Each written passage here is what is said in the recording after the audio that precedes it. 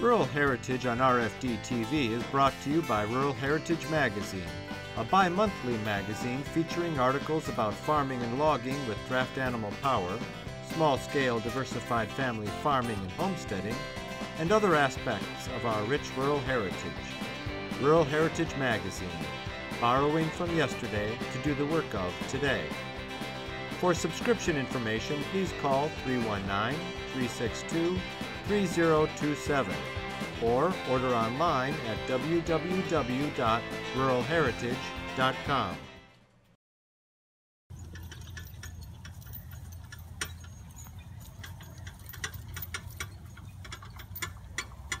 when you're in the in the field with an animal, one animal or, or a whole team, um, you just feel fantastic. You feel like this is your partner and your partner's right there with you.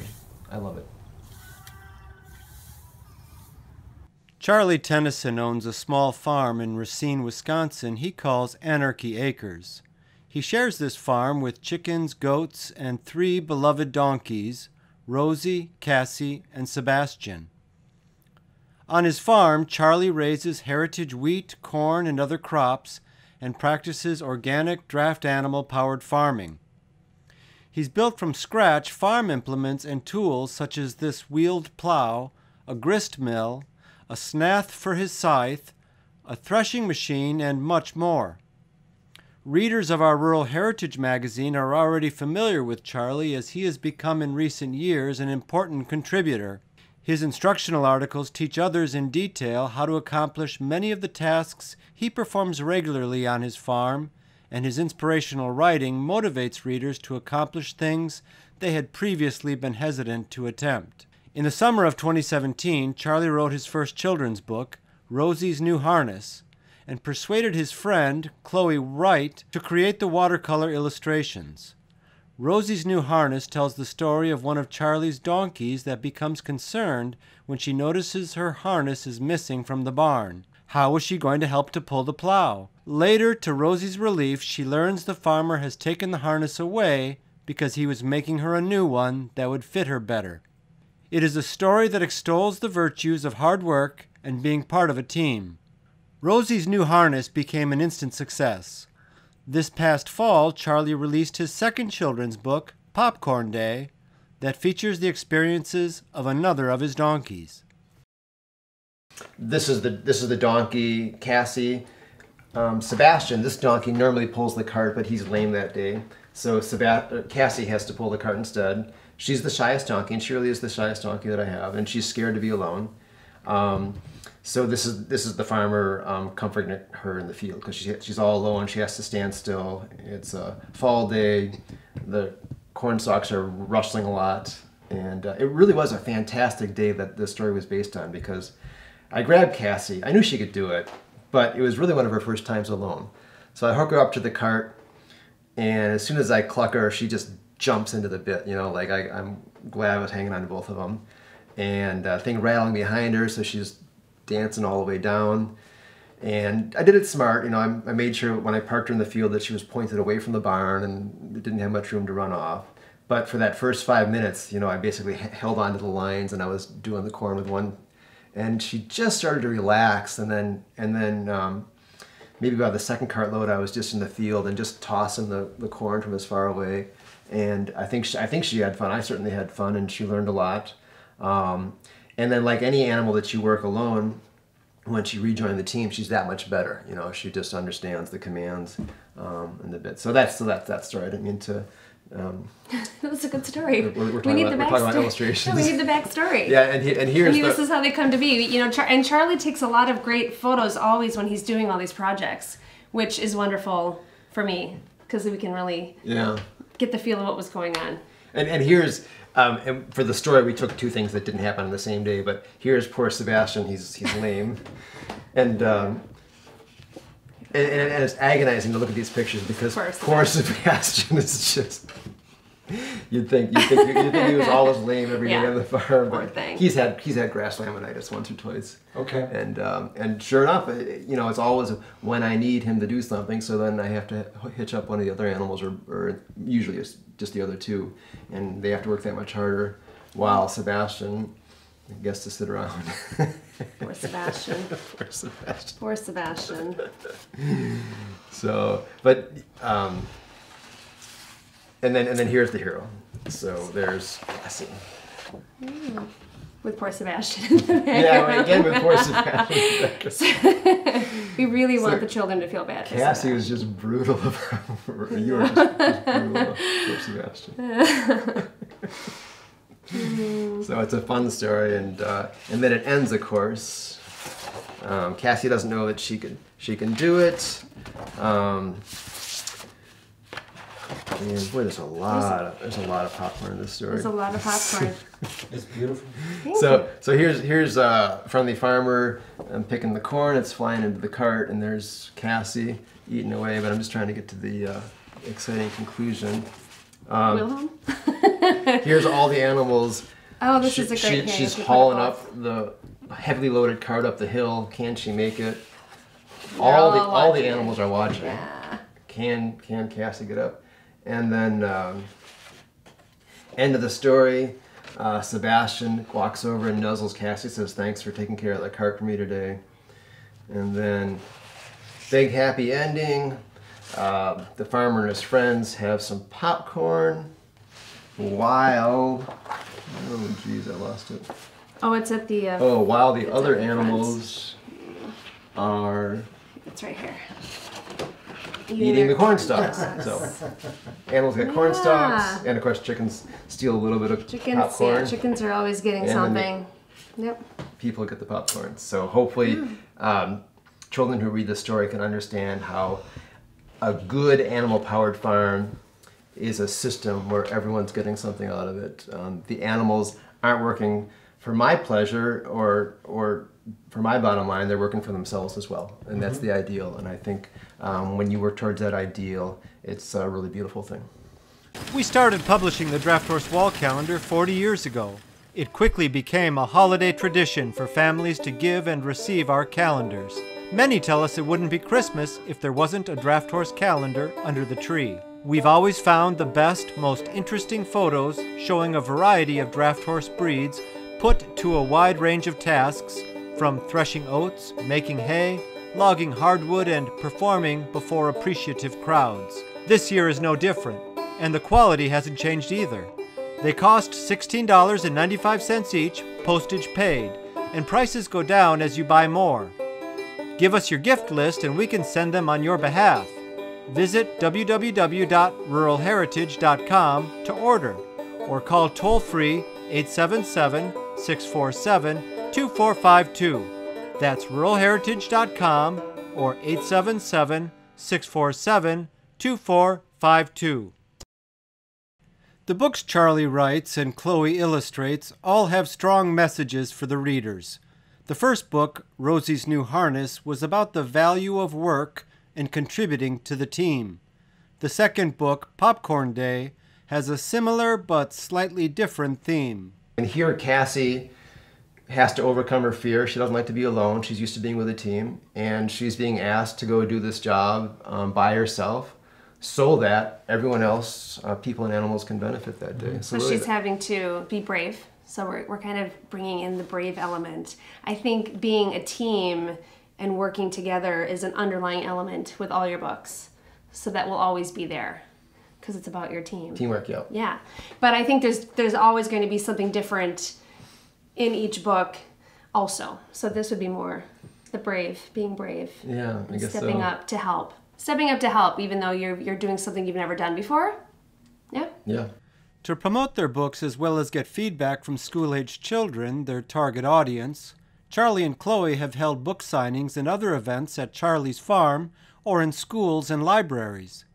When they go on the road, they bring a donkey harness with them to show the kids. We had the kids try on Rosie's harness, the actual harness that the story is about, um, and we had a second kid pretend to be the teamster, and that kid would have to guide, you know, Rosie the donkey. Um, we would tell them they had to use gee and haw, and, and walk on and hoe. They, they couldn't use left and right, stop and start, and tell them. And the first one was at a lunchroom, and had to just get this donkey uh, four-year-old kid to walk through the lunchroom without hitting anything. Really? Yes, with the reins and Much everything. fun. It was awesome, and of course, every every child watching it thought it was the most hilarious thing ever too. and it went really well. And uh, kids, they they got to, to see the actual uh, harness that the story is about, but at the same time, they also got to talk to Chloe and ask her um, the same questions you just asked about the illustrations. How do you make an illustration? How do you draw a donkey?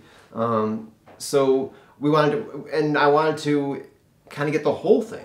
Um, encourage a, um, a young child maybe to farm, but maybe to write a story about a farm. You know, all, all those things that you need, and um, and not not to be too high and mighty, but um, just get some of that passion and ideas across um, to these young people. So So how cool is it to have kids who, um, the, I mean, our typical stereotype of kids today are that they, they've got screens in front of them all the time playing Yes. video games and they're not Yeah. interested in the world around them. Right.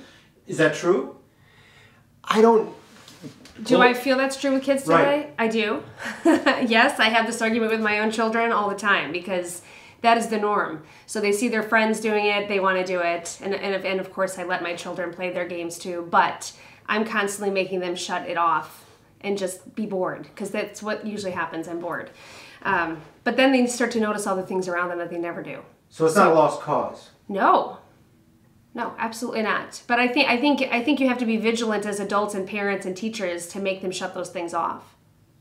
And for what it's worth, So- uh, Chloe's family was here last night because we were working on the book, and I said I have to go cut some hay and feed it to the donkeys. And get a build coat up. And and two of her kids, not all three, but two of them ran out with me. Yeah. And they just wanted to cut hay for the next hour. You know, we, we took my scythe, and, Yeah. and little Charlotte was raking, not very well, but she's raking it, She was raking And- and bossing her brother around, yeah. bossing your brother Yeah. around, and feeding it to the to the animals. Yeah. They love that. So it's possible. Yeah.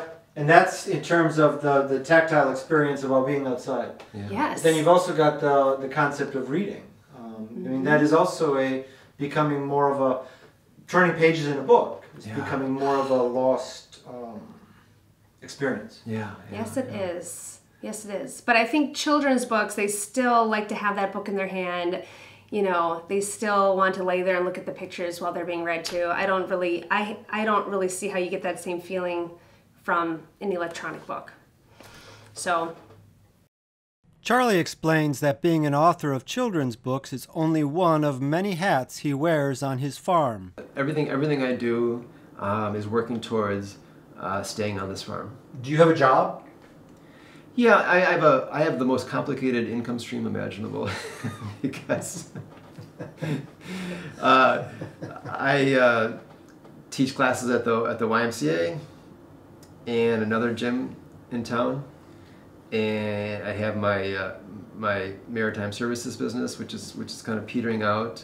Um, I made a little bit of money off off of the off the book that I published, and I'm going to try to repeat that with um, the new cookbook and the new children's book and um, selling some uh, some of this wheat and flour off the farm. Um, next week, I'm going to go up north and hire myself out as a horse trainer for a week, and I'll do a little uh, hoof trimming around town. So I think I've named at least six income streams. If you're keeping track, um, and I guess that's par for the course for people on the farm these days. And because there aren't many implements designed to the scale of his operation, Charlie finds himself fabricating his own harrows, plows, sleds, and more. this is a, a drag that I built, and I started out. I realized I needed a digger of some sort, and, I, and I've got like an old s- old spring tine section right behind us or out, out back, and I, I just realized that spring tines. I didn't I didn't like them. I, what I mean is, is the, the C tine, and the the tooth on a C tine is like straight up and down where it hits the ground, and to me it seemed like it was draft inefficient because it was just it was just taking something along the ground like this, like that, and uh, Danish tines, S tines are interesting to me because these sweeps are pointing forward, and, and of course there's different things I can bolt on there, but they all have that same thing in that they're, they're kind of getting underneath and they're pointing forward. And, and to my experience, they're, they're, a- they're a little more draft e- efficient. Problem is, I couldn't find a drag that had Danish tines on them. They all, they all have the old C tines.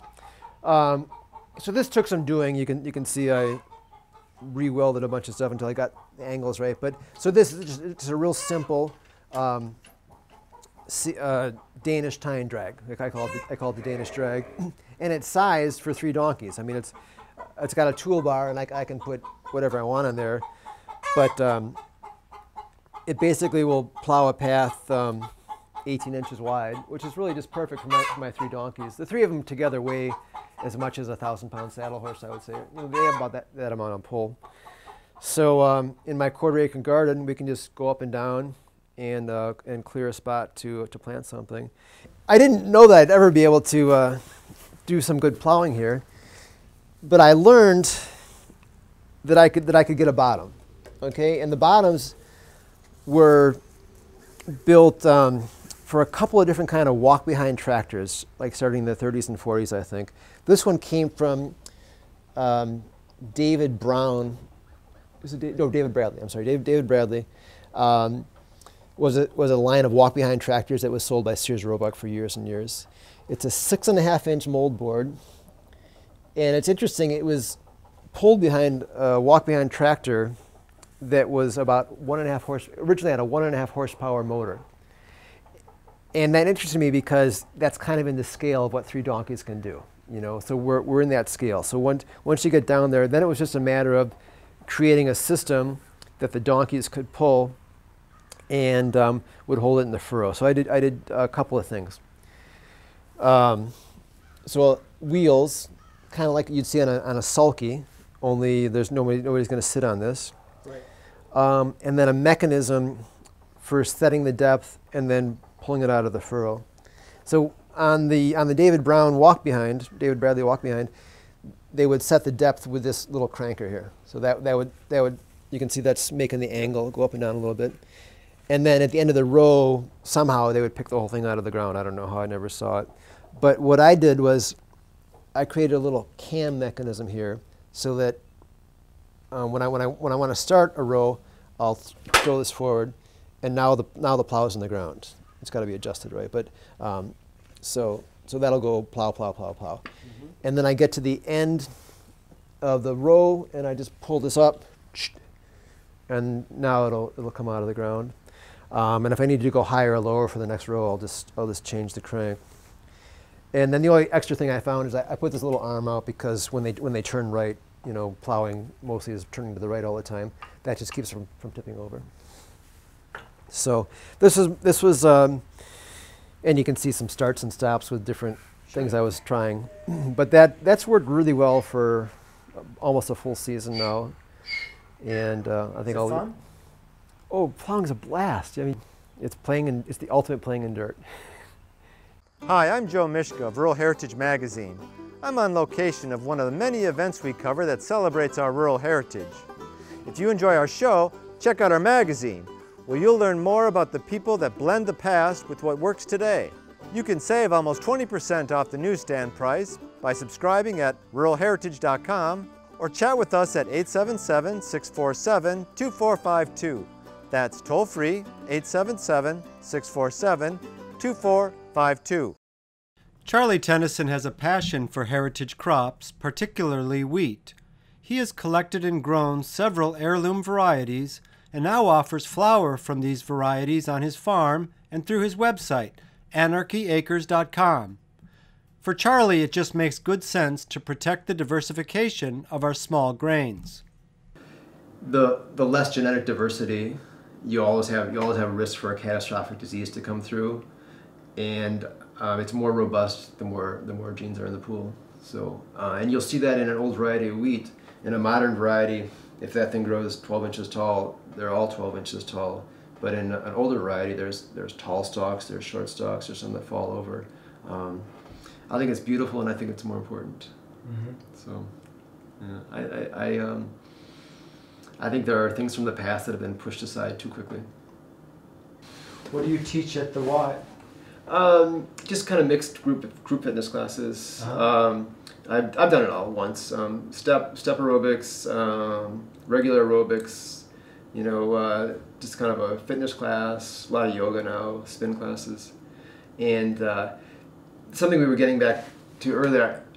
An idea and I can't communicate this right, but it's a little puzzling to me.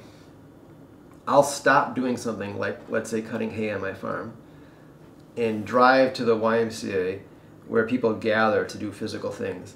And I, I think there's not too many farmers at the YMCA because it doesn't make any sense. You've just left an area where the exercise comes free, and you've gone to a place where somebody's going to tell you how to exercise or teach you how to exercise. It's a little ridiculous. Uh, I enjoy it, and of course, I uh, living alone on a farm, I desperately need the uh, the social interaction that the, that the YMCA uh, and other gyms provide. So I'm going to keep doing that. Um, but you kind of see one aspect of modern life that's gotten a little crazy.